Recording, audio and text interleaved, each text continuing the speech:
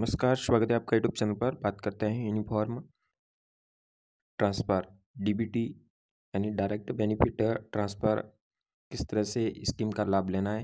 यानी विद्यार्थियों को जो यूनिफॉर्म दी गई है, उसके सिलाई के पैसे किस तरह से ट्रांसफ़र होंगे? आपको स्कूल लॉगिन के माध्यम से क्या प्रोसेस करनी होगी? साथ ही पी को माध्यम से किस तरह से बजट आवंटित होगा? समस्त जानकारी प्रदान करेंगे। वीडियो अंत तक ज़रूर देखिए। सबसे पहले स्कूल लॉगिन आईडी लॉगिन करें, अपनी आईडी और पासवर्ड लगा करके लॉगिन करने के उपरांत, लॉगिन करने पर आपके सामने योजना का ऑप्शन ओपन हो रहा होगा तो इसके ऊपर क्लिक करेंगे। इस पर क्लिक करेंगे तो यह नीचे की तरफ़ आ रहा है छात्र वर्दी डीबीटी प्रणाली। या स्टूडेंट बेनिफिशियरी डीबीटी सिस्टम नाम से इंग्लिश में आएगा। फिर नीचे की तरफ़ यही आ रहा है तो इसके ऊपर क्लिक करेंगे। जैसे इस पर क्लिक करेंगे, इस प्रकार का आपके सामने पेज ओपन होगा। स्टूडेंट यूनिफॉर्म डीबीटी सिस्टम पर जाए तो इसके ऊपर क्लिक करेंगे। जैसे आप खोलोगे तो इस प्रकार का पेज ओपन होगा, डैशबोर्ड, जिसके अंतर्गत आप देख रहे होंगे। या ऊपर की तरफ़ तीन लाइनें आ रही है तो इसके ऊपर क्लिक करेंगे। जैसे आप क्लिक करेंगे तो इस प्रकार का पेज खुलेगा। सबसे ऊपर आ रहा dashboard, uniform status, forward PO, योग्यता पुस्तिका विभाग दस्तावेज़। तो आपको सबसे पहले यूनिफॉर्म स्टेटस पर जाना है। यूनिफॉर्म स्टेटस खोलने पर आपके सामने इस प्रकार का पेज खुलेगा, जिसमें तीन चरण वाइज आपके सामने इसको पूरा करना होगा। सबसे पहले वर्दी की स्थिति, यानी बच्चों को वर्दी वितरण की गई उसकी स्थिति आपको शो करनी होगी, जिसमें आपको बच्चे को, जिस बच्चे को वितरण की उसके सामने टिक लगाना होगा, वो हम आपको बताएँगे। फिर दूसरा स्टेप बैंक विवरण, जिसके अंतर्गत जन आधार से फेस डाटा को आपको बैंक विवरण अपडेट करना होगा। उसके बाद पीओ को फॉरवर्ड करना होगा, यानी तीन स्टेज से गुजरना होगा। सबसे पहले वर्दी की स्थिति पे हम जाते हैं। जैसे आप वर्दी की स्थिति पे जाएँगे, यहाँ पे आपके सामने स्कूल का नाम आएगा ऊपर, नीचे क्लास एंड सेक्शन आएगा all classes get class wise data के ऊपर क्लिक करेंगे।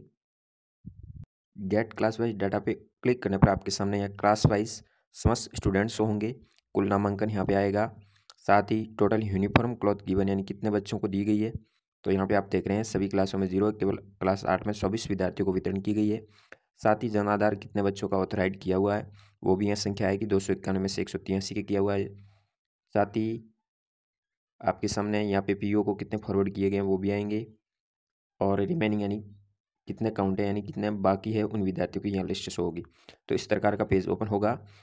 ये पेज जिस क्लास का आप ओपन करें उस क्लास के ऊपर टिक लगाए। यहाँ पे आप क्लिक करेंगे तो आपके सामने जैसे क्लास आठ का करें तो आठ के ऊपर क्लिक करते ही नीचे बच्चों की लिस्ट खुलेगी। जैसा आप देख रहे हैं नीचे जैसे क्लास आठ के विद्यार्थियों को शो किया गया है। तो ये नीचे ओपन होगी। ये बैंक डिटेल की फेस डिटेल है। लेकिन उससे पहले आपको यूनिफॉर्म स्टेट को सिलेक्ट करना होगा। इसको सिलेक्ट करने के लिए इस पर करेंगे, तब आपके सामने इस प्रकार की लिस्ट ओपन होगी। लिस्ट इसी तरह शो होने पर आपके सामने पीछे ऑप्शन आ रहा होगा, वर्दी का कपड़ा देने के लिए सेंड करें। यहाँ पे कॉलम के ऊपर आपको टिक लगाना होगा, जैसे जिसको दिया है उसके ऊपर टिक करें जिसको नहीं दिया है उसके ऊपर टिक ना करें। और सभी को दिया है तो यहाँ ऑल को टिक करके नीचे जा करके आप उसको सेव कर दें। नीचे अपडेट क्लॉथ स्टेटस का एक ऑप्शन आएगा, जिस पर क्लिक करने पर ये डाटा अपडेट हो जाएँगे। उसके उपरांत second state bank data phase के अंदर चले। दो नंबर स्टेप की तरफ़ बढ़ेंगे। यहाँ पे दिख रहा है, फेस बैंक डिटेल के ऊपर क्लिक करेंगे तो नीचे विद्यार्थियों के बैंक डिटेल खुल जाएगी, जिस विद्यार्थी का बैंक से फेस डाटा होगा। तो यहाँ इसके लिए भी आप क्लास वाइज सेलेक्ट करें। क्लास जिस क्लास का ओपन करोगे, उसका बैंक डिटेल यहाँ ओपन होगी। यहाँ पे आपके सामने यूनिफॉर्म क्लॉथ गिवन यानी दी गई है, यहाँ ऑप्शन आएगा। यानी जिसको आपने फ़र्स्ट स्टेप में सेलेक्ट किया, उसके इसी तरह का ऑप्शन शो होगा। साथ ही स्टेटस यहाँ शो हो रहा है फॉरवर्डेड यानी जिसको आप फॉरवर्ड करना चाहते हैं, यहाँ से टिक करके फॉरवर्ड कर दे पीओ को। फॉरवर्ड होने के उपरांत यहाँ फॉरवर्डेड का स्टेटस आएगा। और यहाँ पे जो बैंक डिटेल जन आधार से फेस है, वही यहाँ बैंक अकाउंट नंबर और एफ़ कोड और अप्रूव्ड का ऑप्शन आएगा। तो इस तरह से ये डाटा शो होंगे। उसके उपरांत अंतिम ऑप्शन पीओ को जो फॉरवर्ड किए गए उसको आप देख सकते हैं। तो अंतिम स्टेप यहाँ दिख रहा है फॉरवर्ड टू पीओ जो किए गए हैं, वो फॉरवर्डेड डाटा यहाँ से देख सकते हैं। जो जो फॉरवर्ड की गई है, वह क्लास वाइज सामने एक व्यू लिस्ट के ऊपर आप क्लिक करेंगे तो आपके सामने उस क्लास की लिस्ट ओपन होगी जिसको आप फॉरवर्डेड लिस्ट को देख सकते हैं। कौन सी कक्षा का विद्यार्थी है या कौन सी बैंक डिटेल जो भी है या, और स्टेटस में यहाँ जो फॉरवर्ड का ऑप्शन आ रहा होगा आपके सामने तो इस तरह से आप इसको फॉरवर्ड कर दे। तो स्कूल लॉगिन से इस तरह की प्रक्रिया आपको यहाँ तक संपूर्ण करनी है, तीन स्टेप में इसको कंप्लीट करना है। उसके उपरांत पीओ के द्वारा बजट जारी किया जाएगा, वो कैसे होगा, वो भी हम आपको जानकारी प्रदान करेंगे। तो पीओ को किस तरह से इसकी प्रोसेस करनी होगी पीओ स्कूल की, उसके लिए आपको सबसे पहले लॉगिन करना होगा पीओ आईडी के द्वारा। तो पी ओ के द्वारा सर्वप्रथम लॉगिन करें। लॉगिन उपरांत उसके सामने भी इसी तरह का पेज ओपन होगा। उन्हीं को योजना के अंदर जाना होगा। योजनाओं पे जाके इसी पोर्टल पे पहुँचना होगा। Go to student uniform DBT system इसके ऊपर जाए। इसी तरह इस पेज पे जाने के उपरांत इस पेज पे जाएँगे, तब आपके सामने इस तरह का होगा। सभी स्कूल के पी ओ या अन्य के हैं तो व्यू ऑल काउंट पे क्लिक करने पर आपके सामने नीचे स्कूल की डिटेल खुलेगी। टोटल स्टूडेंट एलिजिबल कितने हैं, कितनों के लिए अप्लाई हुआ है, और कितना पेंडिंग में पड़े हैं, और कितने फॉरवर्ड किए गए एप्लीकेशन ये समस्त स्कूलों के लिए ओपन होगी।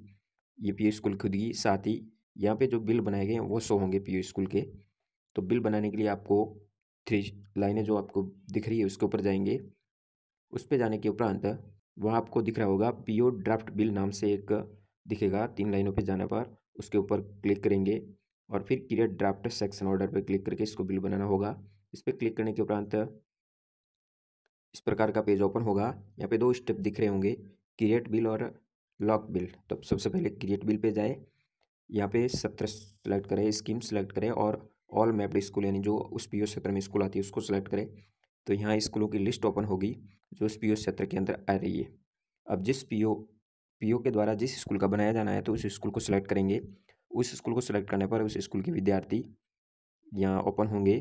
फिर यहाँ नीचे आ रहा है क्रिएट ड्राफ्ट सेक्शन ऑर्डर। यहाँ पे टिक लगाएँगे जिसके लिए करना है। उसके उपरांत क्रिएट पे क्लिक करने पर बिल बन जाएगा। इस तरह का बिल क्रिएट होगा। यहाँ आपको दिख रही है, बिल क्रिएट ऑन किस डेट को हुआ है। सेक्शन या पे मैनेजर रेफरेंस आईडी जो होगी, यानी पे मैनेजर में इसको फॉरवर्ड कर दिया जाएगा पीओ के माध्यम से उसको भुगतान किया जाएगा। तो इस तरह से यहाँ से क्रिएट होगा। क्रिएट के उपरांत बिल को लॉक करना होगा। लॉक करने के लिए सेकेंड स्टेप जो यहाँ दिख रहा है, इसके ऊपर जाएँगे लॉक बिल पर। लॉक बिल पर जाने पर आपके सामने इसी तरह का से जो आपने आईडी यानी जो क्रिएट किया है बिल वही ओपन होगा। यहाँ आप देख रहे होंगे, नीचे की तरफ़ यहाँ आ रहा है। बिल के सामने आएगा या लॉक का आइकॉन आएगा जिस पे ओके करके आप लॉक करेंगे। जैसे इस पर करेंगे ओटीपी के माध्यम से ये लॉक होगा ओ टी मोबाइल नंबर पे जाएगा। फिर ओटीपी के माध्यम से इसको लॉक करना होगा। लॉक करने के उपरांत यह आइकॉन हट जाएगा, जिस तरह से आप देख रहे हैं। नीचे लॉक किया हुआ है, ऊपर नहीं किया हुआ है। तो इस तरह से दो स्टेप से पीओ को इसको कंप्लीट करना होगा। उसके उपरांत ये बिल पे मैनेजर के ऊपर होगा, जहाँ से इसको अप्रूव किया जाएगा। तो इस तरह से यूनिफॉर्म का डी सिस्टम के तहत ट्रांसफ़र राशि होगी। जानकारी अच्छी लगी हो तो शेयर ज़रूर कीजिए।